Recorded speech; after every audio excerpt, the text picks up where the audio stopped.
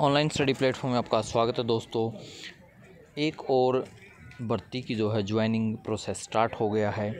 ये advertisement number पंद्रह सलाह दो हज़ार उन्नीस, कैटेगरी नंबर सोलह।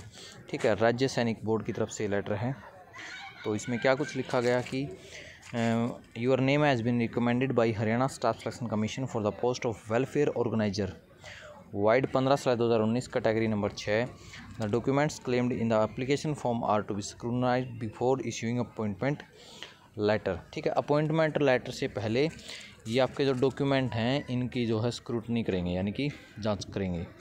तो you are requested to report for verification of documents on पाँच चार इनकी पाँच अप्रैल को भाई जाना है अपने दस बजे। ठीक है along with all original documents, सारे डॉक्यूमेंट लेकर के कहाँ जाना है? इन सैनिक एंड अर्ध सैनिक welfare department, Haryana. Plot number सौ, पंचकुला में जाना, ठीक है? सभी ने वहीं पर जाना भाई, अपने डॉक्यूमेंट्स लेकर के। तो ये भाई बहुत अच्छी गुड न्यूज़ है उनका, जिनका सिलेक्शन हुआ बहुत बहुत बधाई हो भाई।